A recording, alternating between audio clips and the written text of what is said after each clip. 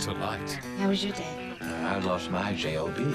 Desperate times someone opened a decent daycare program around here, They make a killing. call for desperate measures. Daycare center, you and me. This is not rocket science. Couldn't be any more simple.